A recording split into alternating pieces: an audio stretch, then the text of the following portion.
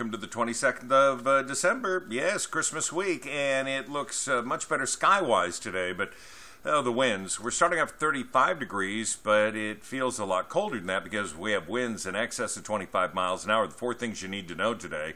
Uh, really coming down to the point that it is going to be sunny today, but those gusty winds are going to be with us as well through the middle of the day.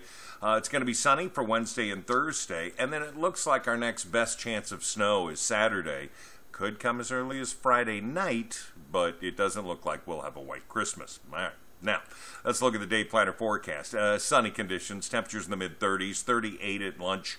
Uh, look for temperatures to start cooling as the sun sets, and we're going to have temperatures of 35 degrees you will be able to see the Great Conjunction, at least uh, the second uh, evening of it, and that's to the west sky. Things are looking pretty good. Now, we look at what we can expect when it comes to that 24 hour forecast. Everything's moving out, gusty winds, and then things calm down.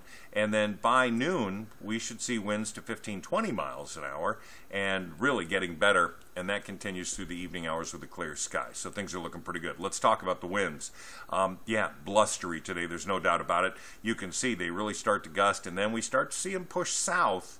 And then by 2 o'clock, we should be out of it for the most part. And that's going to be good news. So that's what we're looking for. So your four day forecast 38 today, 34 on Wednesday. Thursday is 36. And again, that is Christmas Eve. Santa makes his run, and our high of 35 under a cloudy sky for Christmas Day.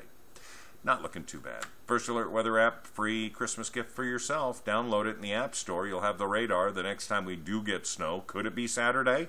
Well, you would know if you had that app in your hand, in your phone, on your device. All right, have a great day. Thanks for watching this, and good luck out there shopping. Hope you're getting your list taken care of.